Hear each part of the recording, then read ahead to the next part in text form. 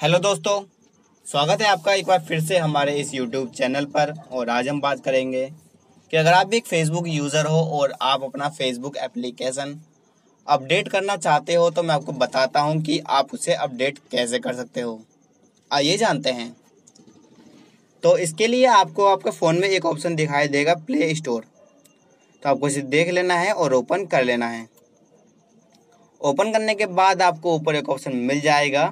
Search for apps and games आपको यहाँ लिखना है फेसबुक फेसबुक लिखने के बाद आपको फेसबुक मिल जाएगा, आपको इसे ओपन करना है। ओपन करने के बाद आपको यहाँ अपडेट ऑप्शन मिल जाएगा। आपको अपडेट पर क्लिक करना है और थोड़ी देर इंतज़ार करना है, कम से कम दस मिनट। दस मिनट के बाद ये जो लाइन है पूरी, ये घूम जाएगी और हंड्रेड परसेंट हो जाएगा तो आपका जो फेसबुक है, वो अपडेट हो जाएगा। अगर आपको हमारी वीडियो पसंद आई तो चैनल को सब्सक्राइब ज़रूर करें।